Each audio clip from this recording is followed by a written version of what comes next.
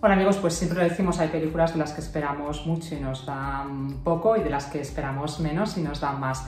Se acaba de estrenar Red, que es la última película de Pixar, esperábamos un Pixar menor y nos ha sorprendido para, para bien. Red es la historia de una adolescente bastante indómita, como son casi todas las adolescentes, que cuando muestra su lado más salvaje se convierte en un enorme panda rojo. Con este argumento absolutamente marciano, Pixar hace una película que conecta con Del Revés, que es una de las mejores películas de Pixar. Es una película divertidísima, con muchísima fuerza, muy original y que además habla con ingenio de cuestiones, pues eso, como la madurez, el crecimiento, la familia o la amistad. Es la primera película de Pixar dirigida por una mujer y la verdad que, ya digo, nos ha sorprendido muy para bien y además la podéis ver ya en la plataforma de Disney, Disney Plus. La mayoría de médicos no están a favor del aborto.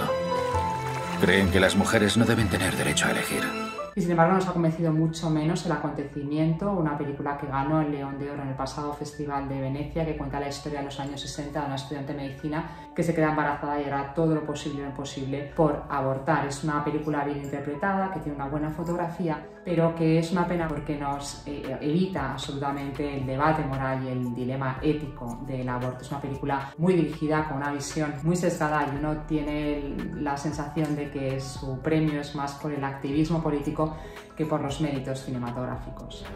Vamos a emprender un viaje por el mundo para averiguar si es cierto que este hombre misterioso está hoy más activo que nunca. Y como vamos a celebrar a los Josés y a los padres, pues vamos a hablar de Corazón de Padre, que es un documental religioso sobre la figura de San José y la devoción en todo el mundo. Es un documental bastante interesante y de la lista de prensa hemos seleccionado Padre no más que uno, que es la película de Santiago Segura, la primera película que dio origen a esa exitosa saga que es una de las más taquilleras de los últimos años.